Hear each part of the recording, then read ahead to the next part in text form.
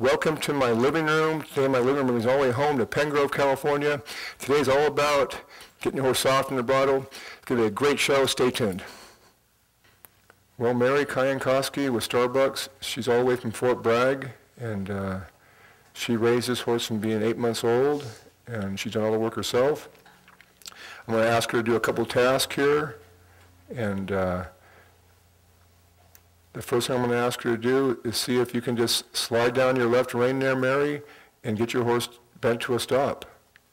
Could you just slide down your rein and bend him to a stop? And wait till he stops. And stay bent till he stops.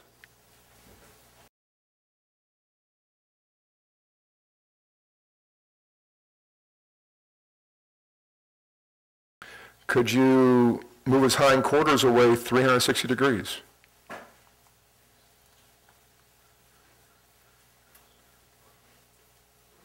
Three hundred sixty degrees.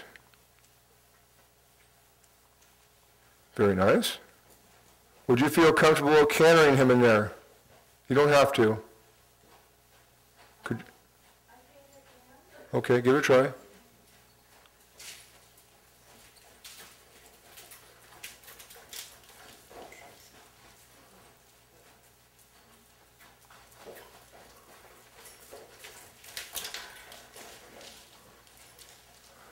Good. That's good. I'd like you guys to give her a big hand, but I want to see her scare her horse, so give her a quiet hand here.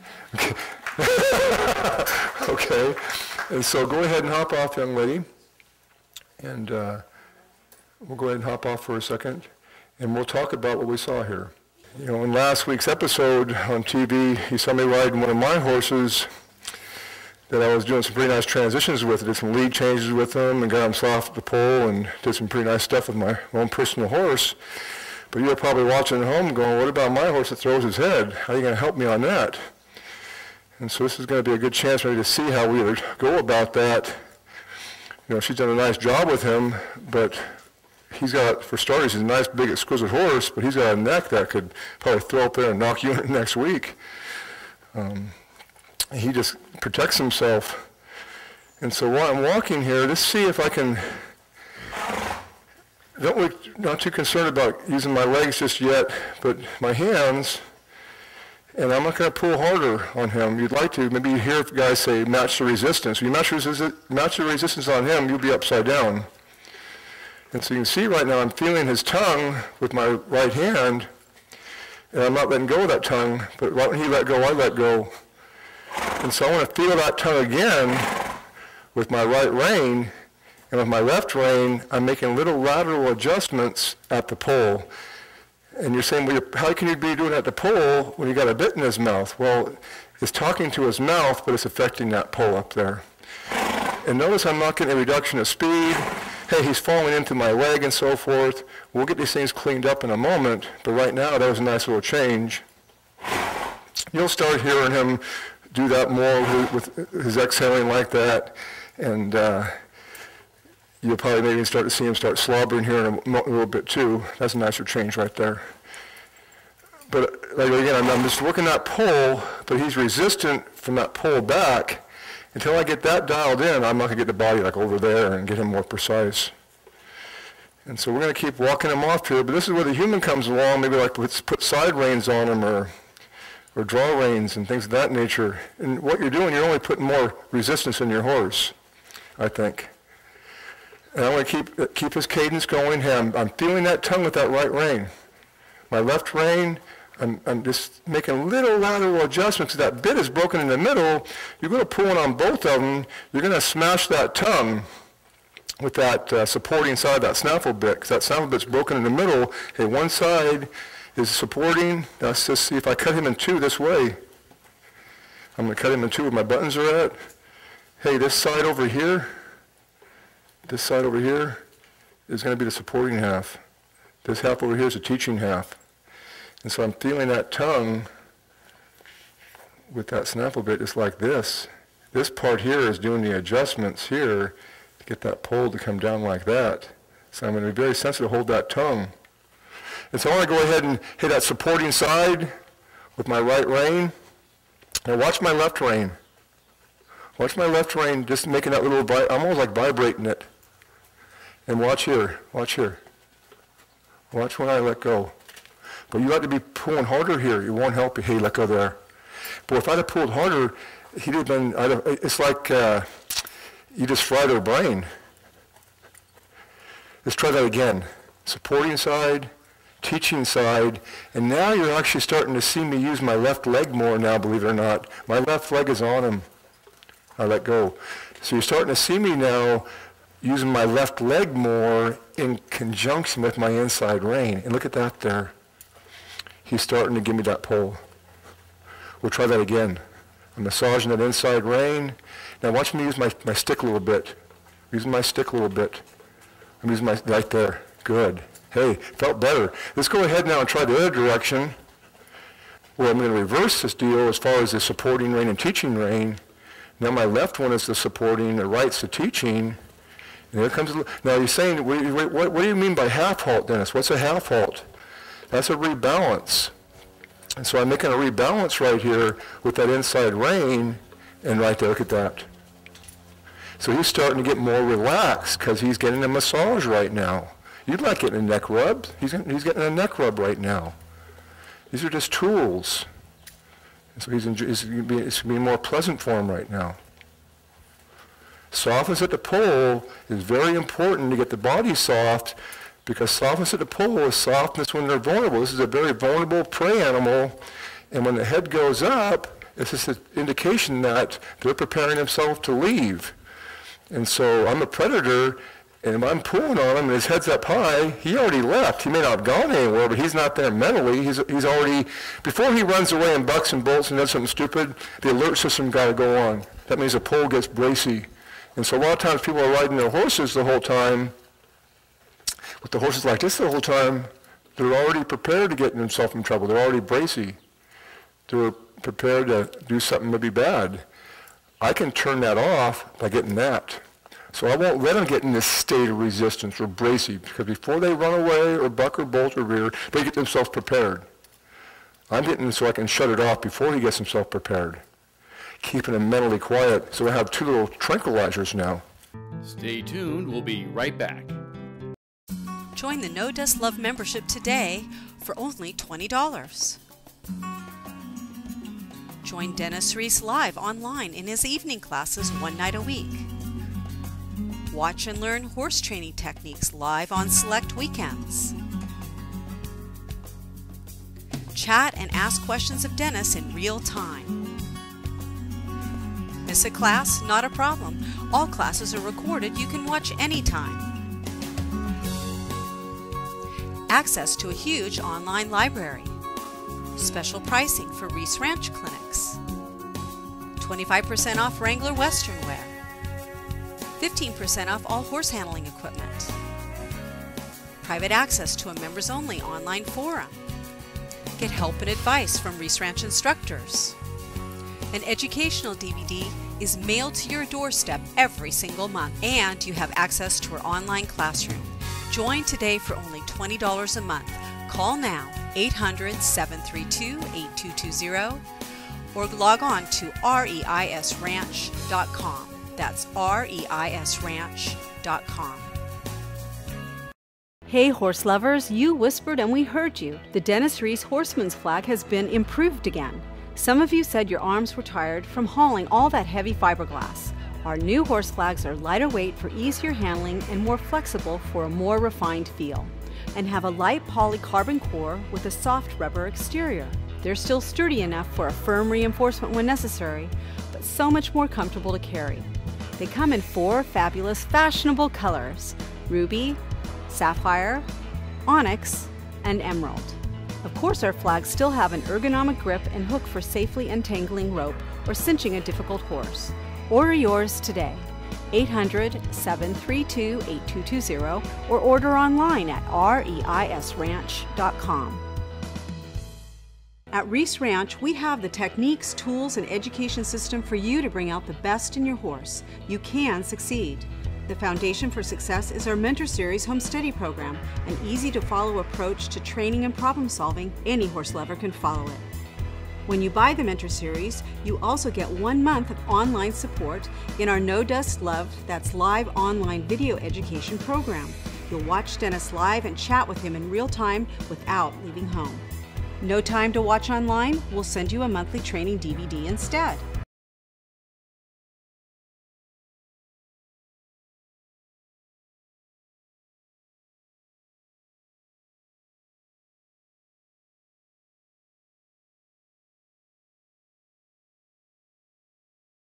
Join Universal Horsemanship live online, or we can send you a DVD. The Mentor Series Home Study course is where you start. Don't miss out. Come and see Dennis Reis live. Call or go online for No Dust Tour free passes for the following locations August 3rd and 4th, Red Bluff, California. August 10th and 11th, Eugene, Oregon. August 17th and 18th, Redmond, Oregon. Get your free passes today. Call 800 732 8220 or go online at reisranch.com. Welcome back to Dennis Reis Universal Horsemanship. Imagine something's going to go wrong here, which is going to, things are going to go wrong with these horses, okay? And so, could I bend him around to a stop? I want to stay bent until he stops. But notice, I'm just not bending him. I'm not just bending him, which I'm bending him. I'm also keeping the poll soft. That means I'm making little adjustments with my supporting rein and teaching rein to keep that poll soft the whole time I'm trying to get him bent to a stop, which you'll start to see here. Because right now, he can't bend to a stop. So that tells me I can't stop him just yet. But hang in there. Just keep massaging him. Keep that supporting rein going there. So we're stopping basically vertical flexion right now. We're stopping a soft feel. And we're just like that. That was a big, big thing for him. He's a good boy. Boy. Yeah. Let's try that again. We'll ride off. And we'll see if we can bend him to a stop, but you're seeing I'm not just bending him to a stop. I'm getting him prepared to a position to bend to a stop. I'm getting him vertically soft before I go to bend him. Now I can bend him to a stop. He's prepared. And I'm looking at my right toe. I'm still using a supporting rein and a teaching rein. And I'm letting go and he stops when he feels good. And I won't do it more than three times. We, we, we teach horses here the way we work with mules. Mules demand that you work with them the way a horse should be worked. Horses tolerate way too much injustice, way too much, too many mindless transitions, uh, lack of preparation, but they eventually rebel. A mule won't tolerate that. And so our system's designed for mules, frankly, the way a horse should be worked. So let's go ahead and get ourselves prepared to get in position the way you get a, a mule going. You wouldn't do it more than three times with a mule either. Hey, he's out soft at the poll now. Now I'll get my lateral bend. And horses learn when you stop doing what you're doing. And so now we're saying this is going to be a pretty good deal here. Pretty good deal. He's actually starting to exhale and breathe and relax. Let's get him soft at the poll again here. So like last week, I showed some pretty cool stuff in my horses, but I'm kind of showing you, well, here's a horse that threw his head, and how we're going to change this up. Let's get him softer at the poll. A nice bend to a stop. Isn't that nice? Hey, that supporting rein is very important. And he lost his balance. He got his balance. I said, good boy. I said, let, let go. Now let's go ahead and ride off. Now they're starting to see, well, gee, if I get him prepared in the right position before I ask for the move, I'm being a better leader, and I think that's something we want to look at. If I ask for him like to move his hindquarters here, I'm just not going to go start pulling and kicking and gouging. Maybe I should go ahead and approach the same idea of getting that poll soft first, not killing that forward motion, you'll see when he says yes, he's going to say like, okay, I'm ready to go, like right there. Now I can create the lateral bend, kind of lost him there. Now I can create my indirect rein and ask him to move the hindquarters away. And when it feels nice like that, I can ride off. That's the way I like to see him disengage the hindquarters. Perfect precision. We'll reach in here again. We'll get the poll soft. This little half up, the inside rein. Hey, my inside leg's doing something. Now when I start using this left rein, getting the lateral bend, now it's an indirect rein talking to that right hind foot. Hey, my supporting rein is still there feeling that tongue. I'm using my left leg there pretty firm right there. And I'm going to wait till a, a, a softness takes place. Get off that leg. See that little crankiness you got there? Watch my left leg say, hey, hey, hey, hey. We're not going to reward that. We won't reward that expression. No, I don't think so. That got soft. I said, good boy. But see how a couple times here he kind of said, who do you think you are? He pinned that ear back so I get a little cranky. I stayed there till the expression looked a little nice and I wrote off. But we had a little discussion there. Let's try that again. Let's get him prepared, get that pull soft, create that lateral bend first, then get the hind quarters by disengaging the hind quarters. Now feel that right foot going out with your left rein. It's the only time my left rein crosses the center of my horse. My left leg is talking to the left hind foot. My left rein is talking to the right hind foot, that indirect rein. And I'm going to wait for a little cadence, rhythm. That felt nice and we'll right off. Okay, let's try, let's try this next move now. Now I got the disengagement starting to go. Let's see if we can actually get a little lateral move with him. And I'm going to get him prepared here while I come to you. I know I can move the hind end. If I can move the hind end, I know I can get him to go sideways. But I lost the pull. I got the pull back. I got the pull back. I wouldn't get him out of here yet, so I'm going to stay in my leg yield, a couple more strides, just like that. I'll be reward that right there.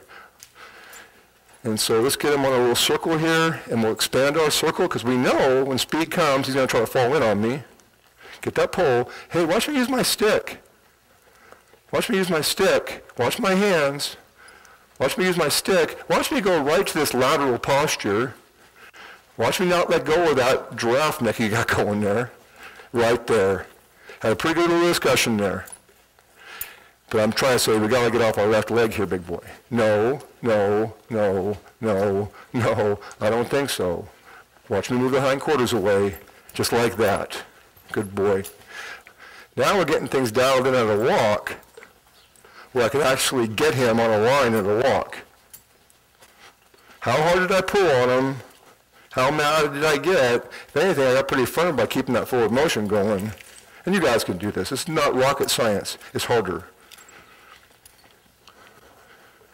But you all can do this when you start looking at it from the horse's point of view. He's just trying to protect himself. Let's go ahead and do the right. Good boy. Okay, see if I can get him going here to the right again. He's getting pretty cool about this right leg. He's, he's better off my right leg, believe it or not. There you go.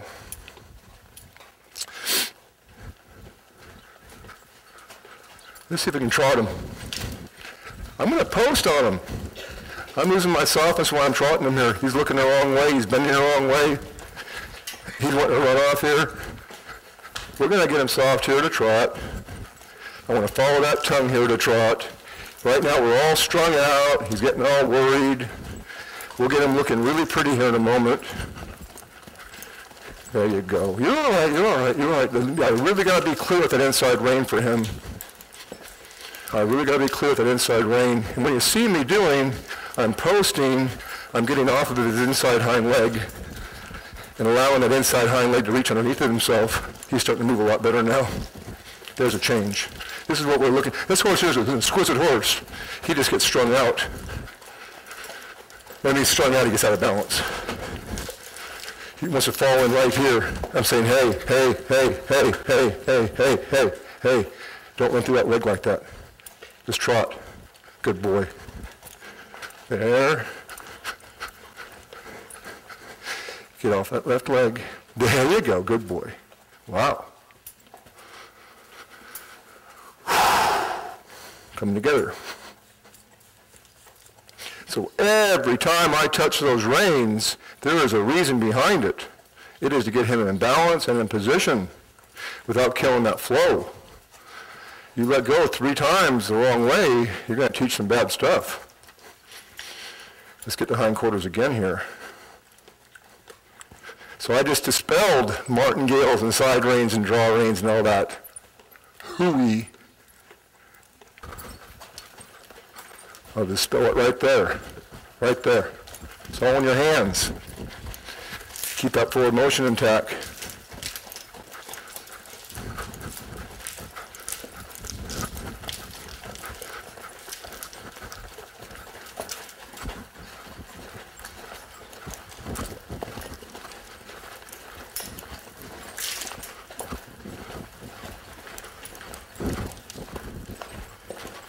Little adjustments, little adjustments, little adjustments, little adjustments, little adjustments.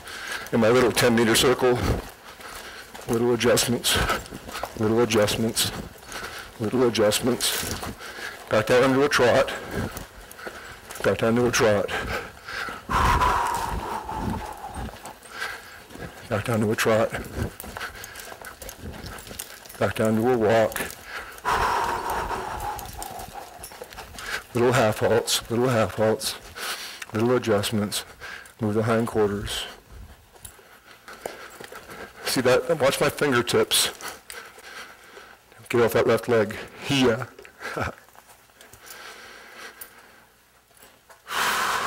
Never seen it not work.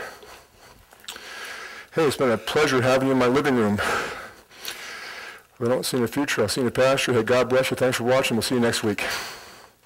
Introducing Dr. Stephen Alday, the creator of LubriSyn. Dr. Alday, can you tell me about pulse and respiration and get my horse's temperature? Well, typically we take a rectal temperature in a horse and normal is right around 100, okay? So variance between, you know, 99.78 to 100.5 is considered to be normal. Uh, so, you know, you basically would, you, your digital thermometer basically will tell you what it is, you know, right away it beeps for you, whatever. And, and that's what I use in my practice as well, except, you know, the old standby glass is pretty good too. As far as uh, pulse is concerned, I normally, if I'm checking a horse, I, I will check right here along this vessel, this maxillary artery runs right underneath their mandible right here. And what you do is you basically put your fingers and you can feel it roll right there and you can use your clock and I, I'll see how many beats I get in roughly about 15 seconds and multiply by four, okay?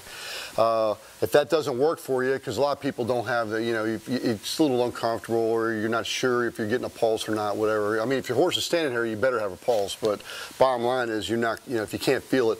Yeah, the old standby is you can take your hat off and you put your head right up underneath here and you can listen to their chest and watch the time as well. And roughly this horse's pulse is going to be somewhere around 24 to 28 thereabouts, which is a normal resting temp or, uh, or, pulse for a horse, you know, that's in reasonable condition, this sort of thing. As far as respiratory uh, is concerned, if you'll sit and watch, you can just watch, you know, the chest cavity move when they take a, you know, a, an inspiration, there's one, and then count every 15 seconds, there's two, and then roughly you're going to see that this horse's respiratory rate's like, you know, somewhere 10, 12, maybe as high as 16. Not likely, more like between 8 to 10, 12 is going to be normal. So those are the usual parameters that you're going to find that uh, are, are, normal for uh, uh, temperature, pulse, and respiration in, in a resting horse.